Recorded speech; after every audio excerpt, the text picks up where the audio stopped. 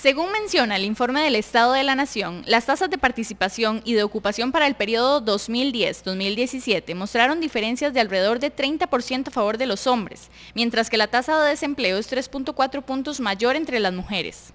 El informe presentado recalca que no será posible obtener mejoras sustanciales y sostenibles en los indicadores de pobreza, sobre todo por ingresos, si no se resuelven las diferencias del mercado laboral. Las mujeres enfrentan triple barrera, que tiene que ver con la inserción, es decir, la decisión de participar o no en el mercado, en la fuerza de trabajo, de selección, o sea, una vez que decidieron si van a participar o no, encontrarles, encontrar un empleo en las mujeres es complicado, y de valoración.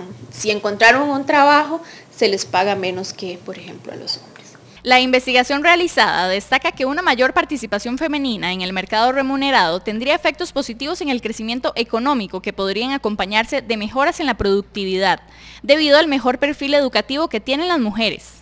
Asimismo, se menciona que una tercera parte de ellas poseen educación superior versus un 21% de los hombres, en quienes predomina el nivel de primaria.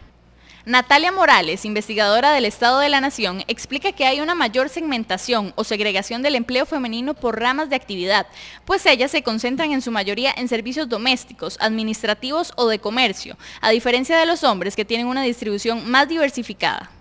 Desagrega la brecha entre hombres y mujeres y trata de explicar cuánta de esa brecha se debe a diferencias en el tipo de empleo, en el nivel educativo, en el lugar de trabajo, en las condiciones público-privado. Lo que se da cuenta es que más de la mitad de esa brecha no es explicado por esas características, lo cual podríamos atribuir a discriminación salarial. De acuerdo con el informe del Estado de la Nación, durante el periodo 2001-2017, entre el 55 y el 60% de las mujeres costarricenses tenían el perfil para insertarse en las actividades laborales del país. Informó desde San José, Costa Rica, Lizeth Suárez para CB24 Noticias.